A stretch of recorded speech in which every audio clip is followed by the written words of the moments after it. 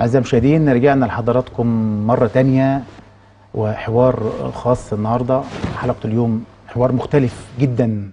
خلاني أستجيب فورا أول ما الإعداد قال لي استجبت فعلا. آه، بنت فرعان شبابها بدافع يعني أبوتها أو بنوتها لبنتها بسبب شخص أنا مش عايز أقول يعني كلمة خسيس أصلا قليلة جدا. شخص انعدم عدمت إنسانيته. شخص ندل ماتت فيه النخوة والرجولة آه، اغتصب بنت لا تتعدى ال 20 سنة قبل زواجها بأسبوعين وحصل آه، بناء على واقع الاغتصاب حمل والبنت زي القمر يعني ضيفة معانا حاليا هنشوفها.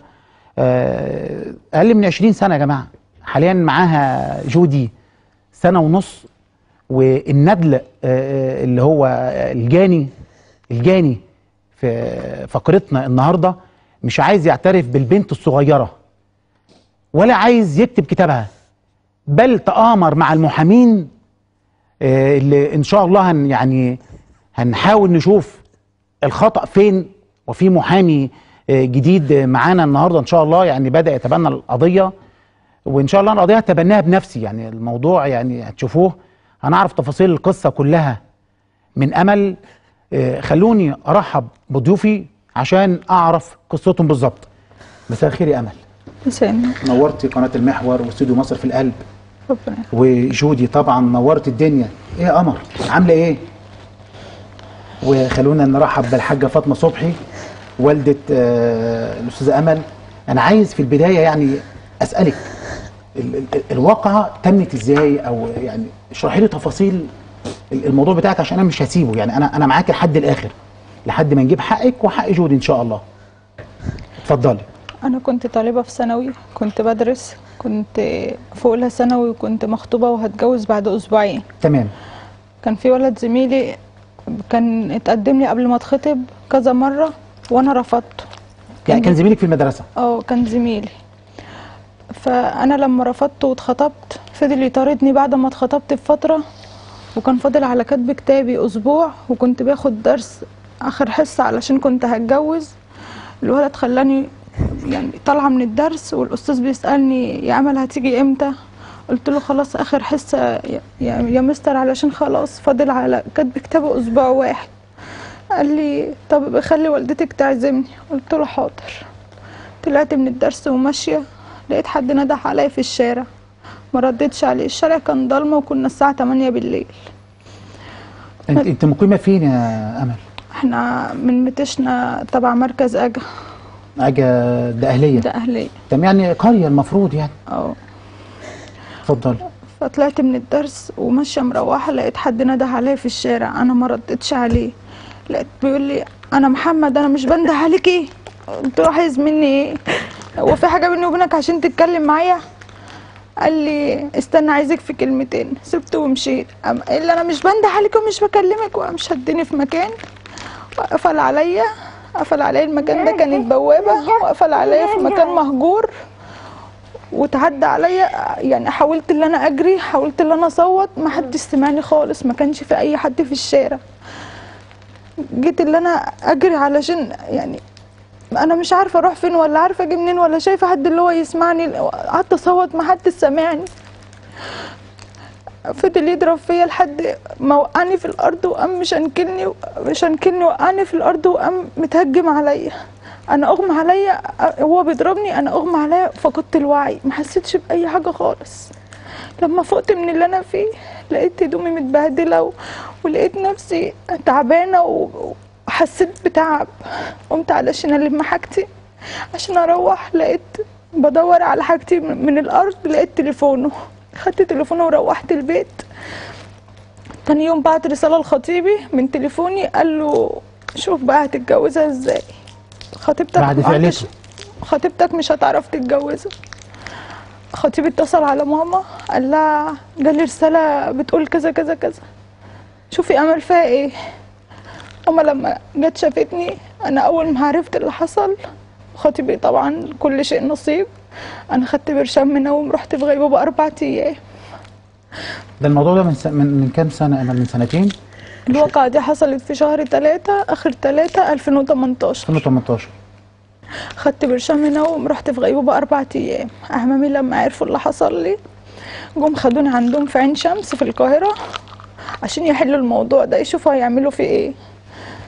أهمامي ضربوني وخدوني الأول الدكتور كشف عليا قال لهم في نسبة غشاء بكار عندها كبيرة وممكن بعد فترة تتجوز ونسبة بس اللي مقطوعة. ممكن بعد فترة تتجوز بس حرام عليكم المفروض اللي عمل فيها كده هو اللي يتجوزها يصحح غلطته؟ الدكتور قال لهم كده خدوني عندهم البيت فضلوا يضربوا فيا وقالوا لي إحنا هنجوزك وانت لو مش موافقة إحنا ممكن إحنا هنقتلك وهنسجلك اللي انت اللي موتي نفسك. قلت لهم اللي أنتوا شايفينه. قطعوا عني اهدي- التليفونات. اهدي يا أمل اهدي وهناخد ماما اهدي يا حاجة فاطمة. حقها مش هيضيع والله ما هسيب حقها. أنا بقى أنا إن شاء الله هتولى القضية وليا حبايبي وإن شاء الله هنقدر نجيب حقها. ما دام انعدمت النخوة والرجولة اللي اللي اللي اللي اقترف فعل يا حاجة فاطمة لازم يشيل مسؤوليته. طب أنتوا النهارده إيه يعني انت عرفت الواقع إزاي؟ أنا من قبل ما امل الولد ده يعمل فيها حاجة. كان على طول بيطاردها في كل مكان. ما آه. بتروحش مكان إلا لما تلاقيه وراها وبي... وبيتصل. طبعا إحنا سهل جدا إن أنت تجيب أي رقم أي حد في في البلد. بقيت بقى يتصل عليا أنا هتجوزها يا إما هدمرها لك ولو جوزتها لحد غير أنا هخليها تتطلق. آخر ما زهقت رحت لوالدته في البيت. قلت لها بعيد ابنك عن بنتي بنتي هتتجوز. خطيبها لو عرف هيقتل ابنك. لم ابنك بدل ما يحصل مشكلة. وإحنا مش أنا مش هدور على أهل. أنا ما عنديش إلا بنتي وجيت إن أنا ما كملناش 15 يوم. بجهز لبنت فرح أو دنيتها. خلى الفرح الفرح عندي مي- ميتم دمر حياة بنتي ودمر ودمرنا كلنا. إحنا ما بنعرفش نخرج من البيت. لو خرجنا من البيت كل الناس مفكرة إن بنتي دي هي اللي عاملة كده بمزاجها. واحدة مخطوبة وفرحانة بخطيبها وفرحانة بالدنيا اللي داخلاها. حجز لها حجز لها فستان فرحها وقاعة الفرح. عاملة كل حاجة. كل الناس فرحانة اعزمينا يا أم أمل. لهم طيب ده أول فرحتي. حسيت إن أنا مش قادرة مش قادرة مش قادرة اقوم حد. كل اللي جاي على بنتي إن بنتي هي اللي عاملة كده بمزاجها. لو بنتي عاملة كده بمزاجها هتروح تنتحر ليه تموت نفسها ليه؟ عمامة لما خدوها عين شمس وكتبوا كتابة ما كنتش أعرف لقيت في لقيت في يوم اللي كتب عليها ده جاي يقول لي يوم شم النسيم يوم 9 4 2018 لقيته جاي يقول لي أنا كتبت كتاب عن امل قلت له إزاي؟ وإحنا متنا أنا وبابا عايشين وعشان بابا طيب وغلبان. كله يدوس علينا سيبونا بقى باللي إحنا فيه. ده مين اللي كتب كتابه عليها ده؟ واحد تاني يا عم ما جابوه.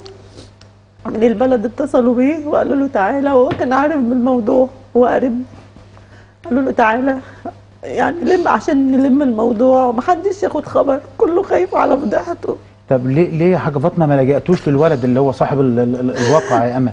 ما رضيوش يدوروا وأنا وأنا كنت ماشية في البلد تاني يوم ما عمل في بنتي كده لما عرفت من خطيبها ماشية اجري في البلد عاملة زي المجنونة. عايزة أشوفه. أنا ما أعرفش شكله إيه ولا أعرف. أنا أول مرة أشوفه. يوم ما تاني يوم ما اغتصب بنتي. ساعة ما شافني طلع يجري في الشارع. طبعا أنا مش هينفع أجري وراه. يعني ما جاش يا حاجة فاطمة يصحح آه، غلطته جاش. ما جاش. بعت لجده. اتصلت بجده. جالنا بعد ما بعد موضوع الاغتصاب ده بحوالي 20 يوم أو شهر. كانت امل بقى جبتها بقى تاني يوم ما كتبوا كتابها عمامها جايباها يوم 10 يوم 10 10 4 من اسم السلام. خدتنا وحطيناها في مخزن. دخلت ال... دخل الاسم جابوها بضرب النار مش عايزين يسيبوها. يقول لها إحنا. خلاص إحنا هنمشي الجوازة دي وتعيش خدامه ليه؟ عين لما عارفين إن بنت أخوهم مجنى عليه لا، و- واضح من روايتها يعني واضح من الرواية إن الولد مترصد ليها و ما حاولوش إن هم يساعدونا ولا حد حاول يساعدنا بعد ما جبتها جايبة بنت جثة من اسم السلام بسند فيها كانتش بتقدر تسقي نفسها بق مية عشان لما مؤاخذة تخش ترد حاجتها بقيت اشيلها واسندها يوميها كان معانا المفروض المحامي اللي هيبقى اللي معانا. كان المفروض يعرفني إن إحنا لازم نرفع محضر في اليوم ده ما نسكتش. سكتنا وقال خلاص أنتوا هتفضلوا هنا إحنا هنروح نرفع لكم المحضر في أجا. اتاري هو كان بيضحك علينا عشان هو قريب الولد اللي اغتصب أمل. ده المحامي. ده المحامي. حسبي الله ونعم الوكيل فيه. وبقولها بقولها على على الناس كلها. بتدعي علينا بالزور ومبهدلنا. مبهدلنا آخر بهدله يعني يعني برضو ال- المحامي كان جاني يا المحامي آه. أمل لما فاقت وخلاص وخ- حصل ال- الولد خطف تليفونها على صورها وصورنا كلنا وصور أهلها. خطف التليفون ومشي. وقع منه تليفونه وما نعرفش هي بتدوس؟ لقت التليفون بتاعه. التليفون ده كان عليه رسائل التهديدات اللي كان بيهددها الامل لو اتجوزت هطلقك. أنا مش هسيبك تتجوزي. الجاني ده اللي هو الولد الولد اللي اغتصبها ده. آه. ما يعني معانا الدليل. وأنا لما ج... لما جالنا جده قلت له تليفون ابن ابن ابن بنتك معانا جده ابو امه طيب. أنا انا هددنا في بيتنا وقال إحنا ما بيهمناش إحنا لو قلت له بنتي أنا شاكه لا ان إحنا بنتي إحنا في حامل. دولة قانون يا حاجة فاطمة والله إحنا في إحنا ما قانون. وإحنا طبعا. بنناشد من خلال آه، يعني منصة مصر في القلب يا جماعة أي حد من السادة المسؤولين آه، سامع آه، سمعنا أو شايفنا رجاء يعني آه، يدخل معانا عشان إحنا لازم نشوف حل يعني دي مجني عليها أنا لو مش متأكد 100% إنها مجني عليها أنا والإعداد بتاعي مش هنجيب آه، عشان نعمل آه، بروباجندا يا جماعة. ده حق طفلة وحق بنته. كلنا عندنا عندنا بنات وعندنا اخواتنا وعندنا اعراضنا إن هم يجيبوا يجيبوا الولد. قلت لهم أنا لو هبيع عفش بيتي لو هبيع بيتي هاتوا يعمل التحليل. ولو ما اتثبتش إن هي بنته. بالادعاء اللي هم بيقولوا بنتي كانت مع أكتر من واحد. أنا معايا كشف طب على بنتي. بيقول إن بنتي شق البكره بتاعها 60% اخفوا كل حاجة عليها علشان يضيعوا حق بنتي. يعني حصل اتفاق ما بينه وبين المحامي يا حاجة فاطمة؟ من المحامي وبين كل ما نروح لمحامي يروحوا له ويفضل يلعب في القضية لحد ما نبص نلاقي الدنيا اتقفلت. أنا اتدمرت أنا بقالي سنتين ونص متدمرة ما بين المحاكم والأقسام علشان أثبت حق بنتي. يا جماعة أنا بنتي لا لا ده إحنا بنناشد المجلس القومي بمزاجها. وبنناشد أنا من خلال منبرنا. المجلس القومي للطفولة والأمومة ذنب جودي إيه؟ ذنب جودي إيه؟ وذنب أمل يعني جودي النهاردة عندها كام يا أمل؟ عندها عندها سنة ونص سنة ونص جودي وملهاش شهادة ميلاد لحد دلوقتي مش عارفين نعمل لها إيه ولا عارفين نطلع لها شهادة ميلاد. هم مش معترفين والمحكمة ما ما, ما عملتلاش التحليل إحنا هنعمل إيه؟ هل هل المحكمة ما طلبتش ما- ما- المحامي ما قالش إن في تحليل دي إن إيه يا أمل؟ طلبش ما طلبش. مفيش حاجة اتعملت.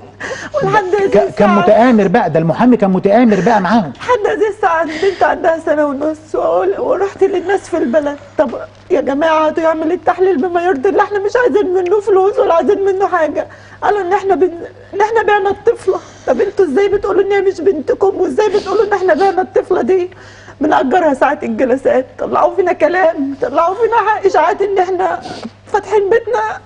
ما هو حاجة. فاطمة اللي يخلف ولد بالطريقة دي وبالقذارة دي طارد بنات الناس؟ سهل جدا ان يعمل ال ال ال بقيت أقول للناس إحنا مش هنسأل عن ولادنا اكلناهم إيه هنسأل عن ولادنا ربناهم إزاي بندور على حقوق الدين والله إحنا ما بندورش على حق الدين. مش عايزين ننسب الطفلة دي لحد حرام. إحنا بنقول عايزين التحليل بما يرضي الله. لا التحليل هيتعمل وإن شاء الله القضية هنتابعها بصفة شخصية. و- أنا بنتي وح- و- متدمرة. وحق- حقها لا يمكن آه، آه، هيضيع. يعني ما كانش متقدم لك الولد ده يا أمل قبل كده؟ اتقدم لي. اتقدم لك زي ما انت قلت. وانت رفضتي. ورفضته فضل يطاردك. فضل بقى يطاردني لغاية ما اتخطبت وبعد لما اتخطبت كان خلاص فاضل على فرحي أسبوعين اتنين. كان أسبوعين على الفرح. آه. وترصدك وانت طالعة من الدرس؟ وقام بالفعل الشنيع بتاعه. واقف مستنيني قدام الدار أنا كل ما كنت يعني كنت قبلها كل ما كان أروح الاقيه ماشي ورايا لدرجة كده في يوم يوم قلت لها يا ماما أنا كل ما أروح في حتة ألاقي الواد ده ماشي ورايا. خطيبي لو عرف اللي هو بيمشي ورايا مش هيسيبه. راح قال لأمه وحذرها اللي هو يبعد عني. ماما راحت لامه البيت وقالت لها الكلام ده. قالت لها حاضر ما عادش ليه دعوة بها تاني ولا قعد يكلمها تاني ولا يبص لها. خلاص لما الفرح قرب وكان فاضل على فرح أسبوعين اتنين أنا مش عارفة أعمل فيها كده ليه ولا كان في حاجة بيني وبينه ولا كنت أصلا يعني أنا ما كنتش بقبل الواد ده. من معاكساته ليا من من كل ما أروح في حتة ألاقيه ماشي ورايا.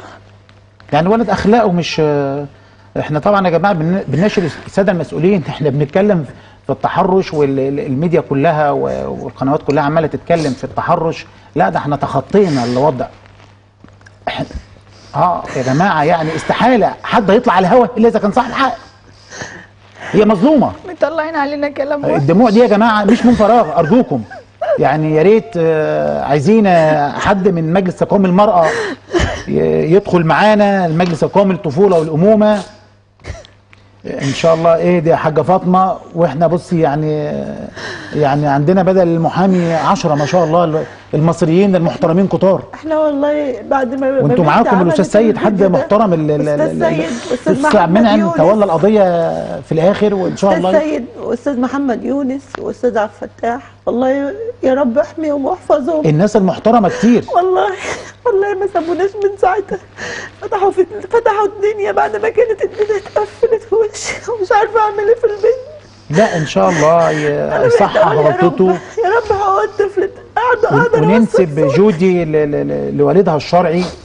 يعني القانون إحنا في دولة قانون يا أمل. طب أنت عايزة إيه يا أمل؟ يعني عايز عايزة حق بنتك ولا حقك ولا عايزة إيه بالظبط؟ أنا عايزة حقي عايزة حق اللي حق اللي ضاع وحياتي اللي اتدمرت. أنا ماليش ذنب في اللي حصل. أنا. ماليش ذنب. أنا كنت كنت واحدة مخطوبة وكنت بحب خطيبي وخطيبي كان راجل محترم. اللي يخليني أبص لواحد زي ده زي ما الناس بتقول وزي ما الناس معرضاني. اللي يخليني أبص لواحد زي ده وأنا كنت خلاص هتجوز. أنا كنت مبسوطة بحياتي وكنت فرحانة إن أنا داخلة على جواز وبكمل تعليمي. دمرني ودمر حياتي ومستقبلي. أنا ماليش ذنب في اللي حصل. أنا واحدة مجني عليها. الناس بتتهم اتهامات وحشة. وعايزة أنت- بنتي. عايزة حق بنتي اللي هي مالهاش ميلاد زيها زي أي طفلة. لأن هي مالهاش ذنب. مالهاش ذنب اللي هي تبقى ضحية وحد هنا حد يقول لها كلمة وحشة. هي مالهاش ذنب في أي حاجة. وعايزة يتعاقب علشان بنات الناس مش لعبة. ما يقدرش يعمل كده في بنات الناس. يبقى عبره لغيره كده واي حد يعمل كده والموضوع يبقى سهل ويخلص بالفلوس. جوز عمته جالنا وأنا حامل لسه وعرض علينا فلوس اللي إحنا إحنا نسقط اللي في بطني. رفضنا. بعدها طلع علينا كلام اللي إحنا بعنا البت وإحنا ما بعناهاش كنا بنتكسف نخرج بيها كنا ب... يعني ما بنعرفش نمشي في البلد بسبب الموضوع ده. دمرونا وطلعوا علينا كلام وحش. إن شاء الله حقك مش هيضيع يا أمل. يعني آه، أمل والنبي وحق البنت لأن جد الولد قالها للناس في البلد قال لهم أنا لو لو المحكمة حكمت إن هي بنتنا ونسبتها أنا هرميها في ملجأ. والنبي إحنا إحنا مش عايزين حاجة منهم. هل هو لو سمعنا؟ هل هو لو سمعنا؟ يرضى يتعامل كده في بنته؟ في أخته؟ في أي حد يخصه؟ إحنا في دولة قانون يا جماعة. دمرونا أنتوا ناس ظلمة على فكرة أنتوا ناس ظلمة ليه؟ هددونا هددونا ان إحنا ليه؟ ابنكم قليل ادب وتطاول على بنات الناس. يعني أقل شيء يصحح غلطته. وفي آه، آه، تحليل هيتعمل. الدي ان إيه؟ والبنت. القانون هياخد حقها. وغصب عنك. البنت هتتكتب باسمك. ده حقها. ده أقل حق في الدنيا. هو أنتوا ابنكم يقل ادبه وتتطاولوا على الناس بالكلام. لو هي عايزاه ما كانت خدته لأن هو اتقدم لها واترفض. إحنا في دولة قانون وفي محكمة وفي قضاء محترم عادل. للأسف الشديد بعض المحامين اللي تسول ليهم أنفسهم يبيعوا ضميرهم ويبيعوا دينهم وآخرتهم دنياهم وآخرتهم. على أساس إيه؟ أنا لما رحنا للم- للمأمور في المركز اجا ربنا يبارك له يا رب ورئيس المباحث. ما كانش هو ده كان واحد تاني. المأمور والله ما سابناش. وقال لي وقال لها هاتوا طيب. هاتوا الولد. طيب ناخد ناخد مداخلة. آه، الأستاذة أمل عبد المنعم آه، مديرة شكاوى المجلس القومي للمرأة. مساء الخير آه، أستاذة أمل. مساء النور دكتور علاء ازي حضرتك؟ مساء الخير على حضرتك وعلى المجلس القومي للمرأة. وبرئاسه الدكتورة الدؤوبة مايا مرسي. آه، مدام أمل إحنا قدام حالة حقها بيضيع. تمام. فإحنا إحنا كنا متابعين مع أستاذة أمل آه، آه، الشكوى بتاعتها و... وب... وبعتنا ال- الورق كله لمكتب النائب العام بحيث إنه يتم فتح التحقيق مرة أخرى. طيب بالنسبة لدور المجلس القومي للمرأة يا أستاذ أمل يعني هل بيقف عند هذا الحد؟ يعني تقديم الشكوى بس المكتب السيد النائب العام المحترم اللي أنا شايف قرارات جميلة بيصدرها عشان ينتصر للمرأة ويرجع ليها حقها. لا يا فندم ما بيقفش عند كده. إحنا متابعين مع أستاذة أمل وفي ناس كلموها من مكتب آه، أكتر يعني في تواصل مستمر معاها بحيث إن إحنا نتحرك أول ما يتم فتح التحقيق تاني. طيب هل هل حضرتك من خلال آه، منبر مصر في القلب يعني نقدر مثلا نقول عشان الوقائع دي ما تتكررش تاني آه، أستاذة أمل هل مثلا يكون في إجراء يتم اتخاذه مثلا؟ يبقى في بعض السادة المحامين مكلفين من المجلس القومي للمراه على أساس التلاعب اللي بيحصل وحقوق البنات اللي بيضيع خاصة أنا شايف إنها مجني عليها. اتفضلي. يا فندم إحنا إحنا بالفعل في آه، فروع لمكتب الشكاوي في 27 محافظة.